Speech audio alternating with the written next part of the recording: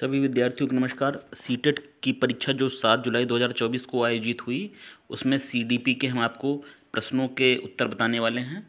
आपने पेपर दिया हो तो उनको मिला लीजिएगा और जो आगे 2025 में सीटेट की तैयारी कर रहे हैं, वो देख सकते हैं किस प्रकार के प्रश्न आए थे 2024 में। तो देखिए, पहला क्वेश्चन जो है आपका, आपके बुकलेट सीरीज़ अलग हो सकती है। शिक्षकों को शिक्षार्थियों के बीच व्यक्तिगत अभिनेताओं का सम्मान करना चाहिए और सभी शिक्षार्थियों को आवश्यकताओं के अनुसार अपने शिक्षण को समायोजित करना चाहिए। ये बात सही है। शिक्षकों को विविध पृष्ठभूमि के विद्यार्थियों को पढ़ाते समय उनके बीच सहयोग, समूहकार और बातचीत से बचना चाहिए। ये बात बल गलत है। ए सही, आर गलत। क्या होगा आपका? ए सही है और आर गलत है। उत्तर आएगा आपका ए फ़र्स्ट।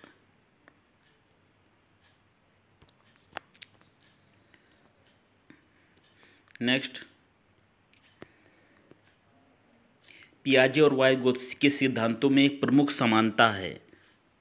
हम्म, आपका सेकंड है।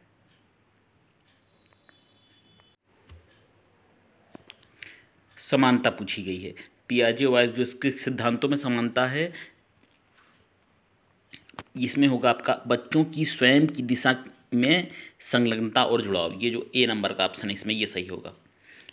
दोनों के सिद्धांतों में ये बात कॉमन है कि बच्चों की स्वयं स्वयं से उनका मिलना चाहिए और उनका स्वयं से जुड़ा होना चाहिए।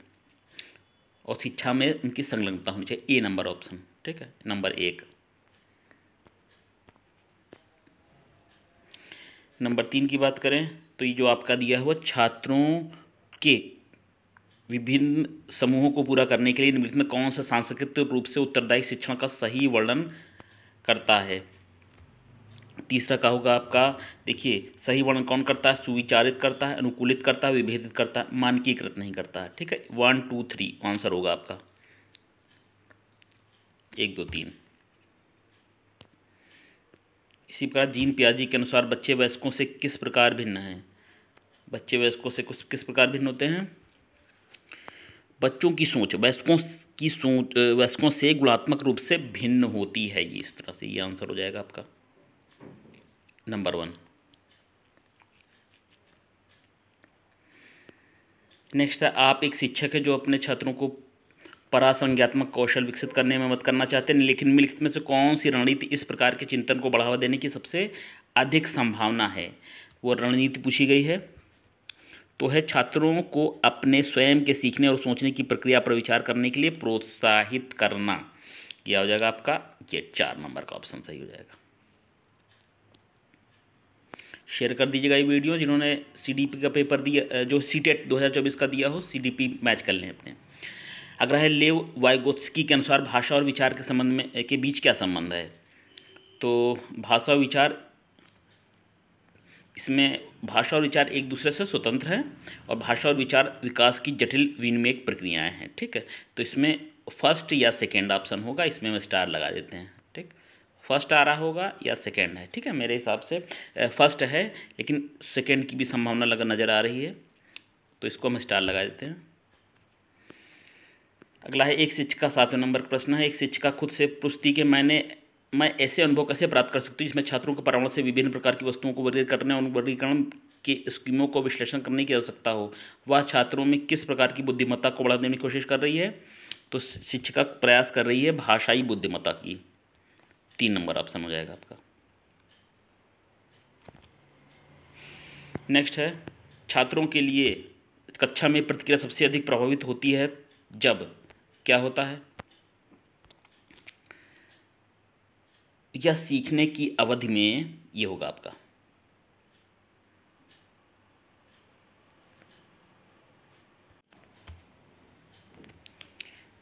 चार नंबर का सीखने की गतिविधि के दौरान और पश्चात भी होता है।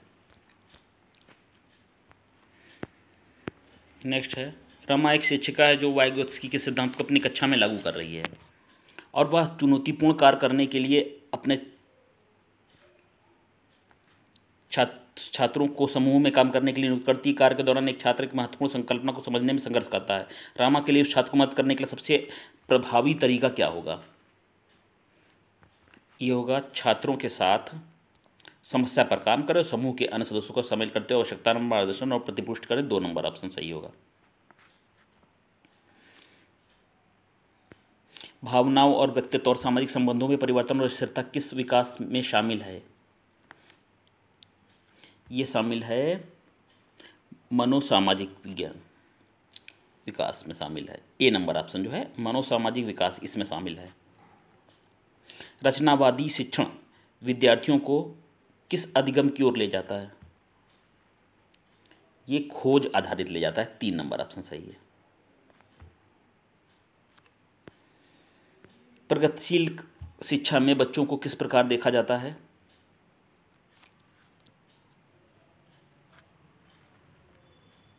ज्ञानवर्धक और अर्थ की रचना करने वाले। इसके रूप में देखा जाता है बच्चों को। एक नंबर ऑप्शन सही है।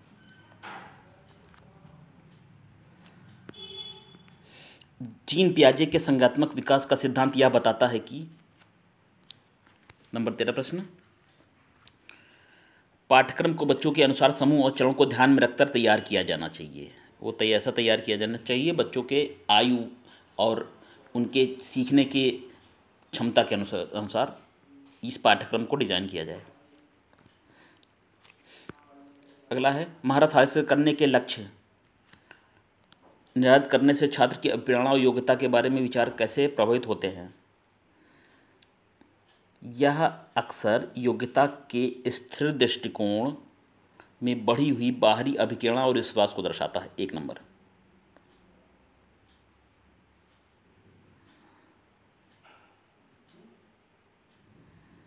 ये होगा एक नंबर ऑप्शन आपका।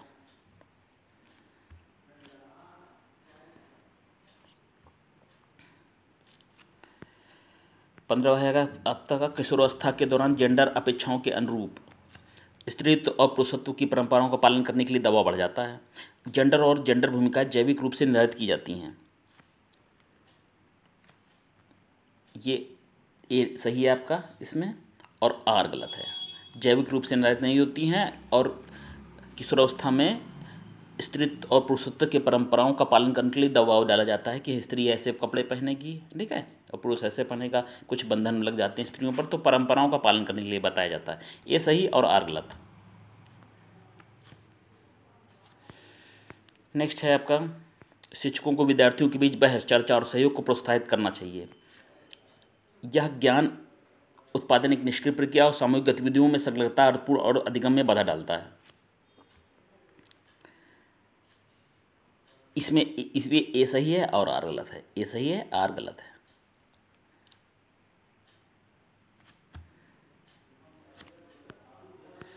नेक्स्ट निम्नलिखित में से क्या दृष्टिबाधित विद्यार्थियों को कक्षा में भागीदारी लेने में बाधा उत्पन्न करता है? मुद्रित पुस्तकें और नोट्स। दृष्टिबाधित हैं तो मुद्रित पुस्तकें कैसे पढ़ेंगे? चार नंबर। इजी प्रश्न है कोई टफ नहीं था। अगला है आपका निम्नलिखित में कौन सुमेलित युग्म सही सुमेलित युग्म है? ये पूछा गया है ना? तो आ, मा इसमें है आपका मानक संदर्भित मूल्यांकन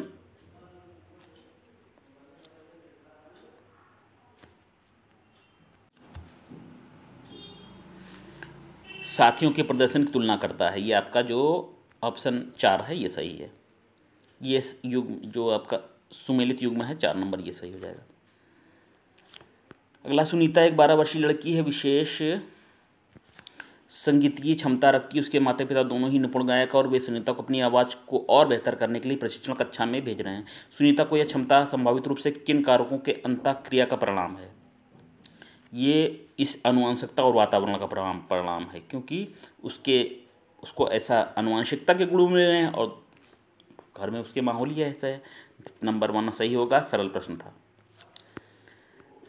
लैरेंस कोलबर्ग ने बच्चों के नैतिक विकास को अध्ययन के लिए किस विधि का उपयोग किया है?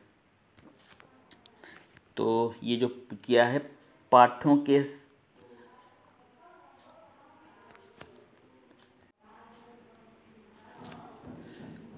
बच्चों के सामने नैतिक दुविधाएँ रखना और अनुक्रियाओं का समालोचन करना, ये आपका चार नंबर वाला ऑप्शन सही हो जाएगा। ठीक है? चार नंबर का ऑप्शन सही होगा। अगला है स्कूलों को स्कूलों को उस ढांचे के भीतर कार्य करना चाहिए जो जो तैयार उत्पादों, सीखने के पड़ाव का आकलन करते हैं। सीखने पक्के तौर पर अनुक्रमिक और पदानुक्रमित होते हैं। इसमें आपको ए और आर दोनों गलत हैं। ए भी गलत है, आपका आर भी गलत है। दोनों गलत ऑप्शन है। अभिकथन भी गलत है और कारण भी गलत है। अगला है, निम्नलिखित कौन सा कथन स्वलीनता के संदर्भ में सही है? स्वलीनता के संबंध में आपका कौन सा कथन सही है? तो ये अब हो जाएगा आपका तांत्रिकीय विकार है ये। स्वलीनता एक तांत्रिकीय विकार है, चार नंबर का ऑप्शन हो जाएगा आपका। किस अधिगम की रणनीति में बच्चों द्वारा दूसरे को सीखना शामिल है जो उन्हें, उन्होंने सीखा है? ये है आपका पर्यावरणीय पारस्परिक शिक्षण हो जाएगा इसमें। आपका ठीक है ना? पारस्परिक शिक्षण होता है, इसमें बच्चों द्वारा दूसरों को सिखाना शामिल होता है, ठीक है?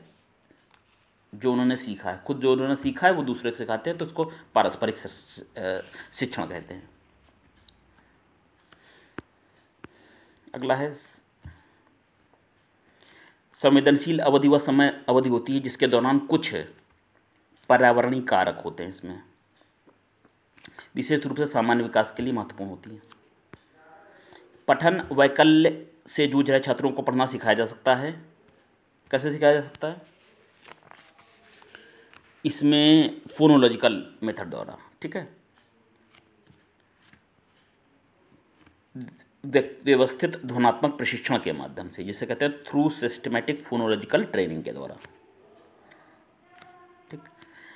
नेक्स्ट है, निम्न कौन सा प्रश्न विश्लेषणात्मक चिंतन को बढ़ावा देता है? विश्लेषणात्मक चिंतन को बढ़ावा देता है। इस क्वेश्चन ये भारत भारत में जनसंख्या वृद्धि के विभिन्न कारण क्या हैं? ठीक है? विश्लेषणात्मक और प्रश्न है, जनसंख्या वाला एक लाइन में हो जाएगा, उत्तर राजधानी एक लाइन में कितने राज्य हैं? विश्लेषणात्मक प्रश्न चिंतन को ये बढ़ाएगा कि क्या क्या कारण है, सोचिए, ठीक है? चिंतन करने वाला प्रश्न है ये। तो अगला है शिक्षकों को बच्चों के, को प्रयोग के लिए बहुत सारे अवसर देना चाहिए, उदाहरणों और गैर उदाहरणों पर चर्चा करनी चाहिए। बच्चों में गलत धारणाओं से निपटने का एक रचनात्मक तरीका, विपरीत उदाहरण प्रस्तुत करना है। इसमें हो जाएगा आपका दोनों सही हैं और सही व्याख्या है, ठीक है? ए और दोनों सही हैं और सही व्याख्या ये भी सही है और ये भी सही है। विपरीत उदाहरण भी देना चाहिए, ठीक है? और गैर उदाहरण भी देना चाहिए समझाने के लिए बात को।